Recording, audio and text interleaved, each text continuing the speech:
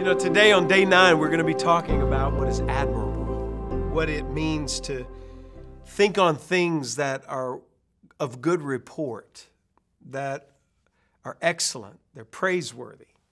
We're going to talk about that on this day, these 10 days of awe that we have been in. We started on September the 30th on the Feast of Trumpets, this gathering point, this announcement, not only again for the new calendar year for the Jewish people, but it was an announcement that Yom Kippur, the Day of Atonement, is coming. Get ready. Prepare your heart. Prepare your heart and your mind. That's why I love that the scripture says, guard your hearts and minds in Christ Jesus. There's a guarding. There's God is a God who not only gives us the grace to, uh, to come to Him, but He also gives us the grace power to follow Him, to believe Him, to serve Him.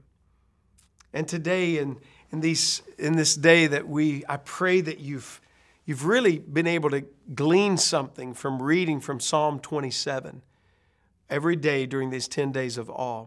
I pray that you've, you've been able to glean something from reading Revelation 1 through 4. I pray you've caught a glimpse of Jesus in a way you've never seen him before. Not only fully man, but fully God. And John said, when I turned to hear, see the voice that was speaking with me, I, I saw the seven golden lampstands, one like the Son of Man, clothed with a garment down to the foot. His head and his hair were white like wool, as white as snow. He had a, he had a, golden, a golden girdle around him. His feet looked like they were burning in a furnace. His eyes were like a flame of fire, and out of his mouth came a sharp two edged sword. He said, When I saw him, I fell at his feet as a dead man. He saw Jesus in his majesty in his splendor and his glory. And he said, and he took his right hand, the right hand is one of acceptance, placed it on John, and in essence was saying, You are welcome here. I want to tell you today, because of what he did for us, because of the blood of Jesus, you are welcome. I am welcome in his presence. And there is no greater invitation we could have ever received than to come to him.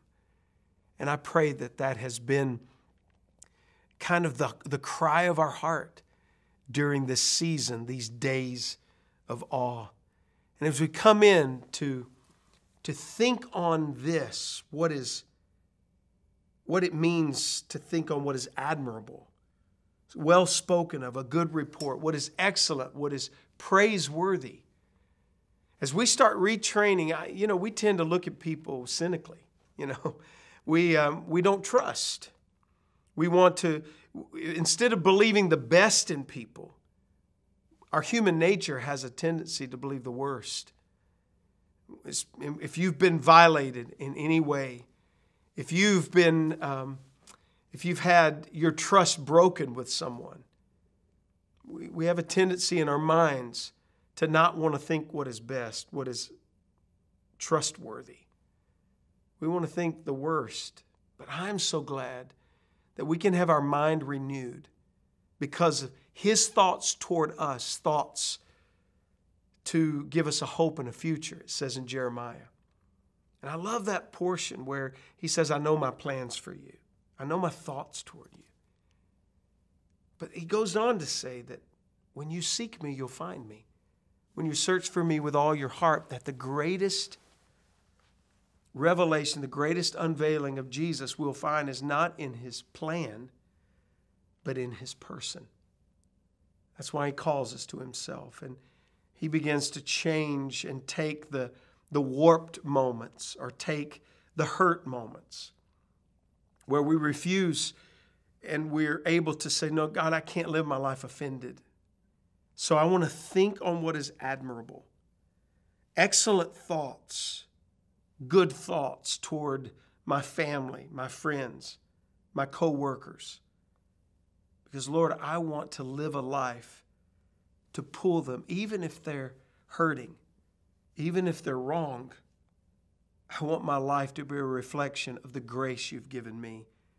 And I want to help pull someone up. I want to be to them what you've been to me. I want to bring them to you. It says of Andrew when he found Jesus, he went and got his brother, Simon and brought him to Jesus. That was admirable. That was worthy of praise. That was amazing. So I pray that for us today, that we would think and surrender our life to what is admirable and worthy of praise. Father, thank you for this day. We honor you in these days of awe. In Jesus' name, amen.